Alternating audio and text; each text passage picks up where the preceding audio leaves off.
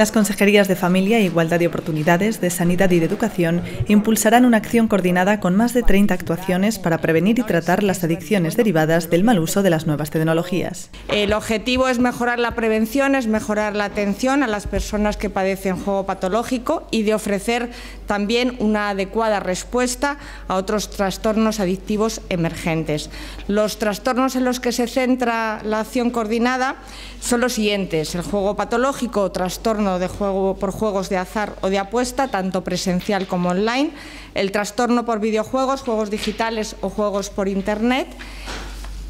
Y el uso problemático de Internet, pantallas digitales y tecnologías de la información y comunicación que en la actualidad no tienen entidad clínica reconocida. La Consejería de Sanidad, entre otras acciones, creará una página web denominada Ventana Abierta a la Familia y formará de forma específica sobre este tema los profesionales de atención primaria y salud mental. Antonio María Saed ha recordado el peligro del síndrome de abstinencia y ha advertido que la adicción a las nuevas tecnologías y al juego online va a más. Y esto es algo que tenemos que acometer, eh, prepararnos, porque en el futuro va, va, se van a generar mucho más problemáticas desde el punto de vista psicológico desde el punto de vista del impacto en el desempeño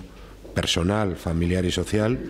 y esto es algo que tenemos que afrontar y lo que pretende hacer este plan de acciones coordinadas sobre adicciones sin sustancias.